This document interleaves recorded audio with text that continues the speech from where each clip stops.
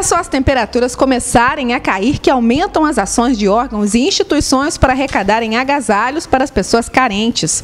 Pensando na situação dessas pessoas, um grupo de amigos com idade entre 22 e 25 anos tiveram a ideia de fazer o mesmo. O Jorge me trouxe essa ideia é, da campanha do agasalho entre amigos.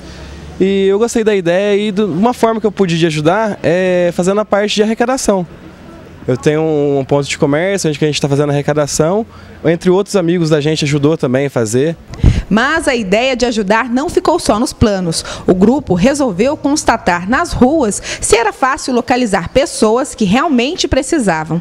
Decidiram então doar suas arrecadações para o Clube do Menor e para a creche do Foch. A gente deu uma volta pela cidade e realmente tinha muita gente passando frio, muita gente é, jogada pelas ruas, né? Aí tivemos essa ideia.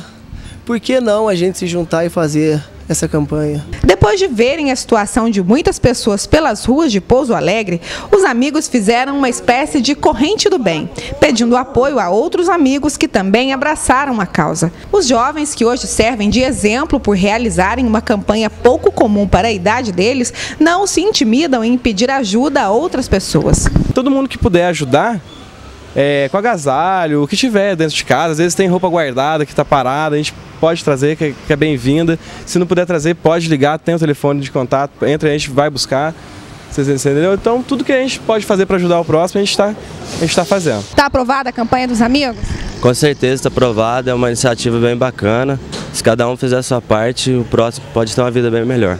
Como a campanha foi aprovada, o grupo já pensa em outras ações. Como muitos amigos nossos ajudaram com alimentos, caixa de alimentos, caixa de verduras e frutas, eles mesmos estão se juntando junto com a gente para fazer campanha do alimento.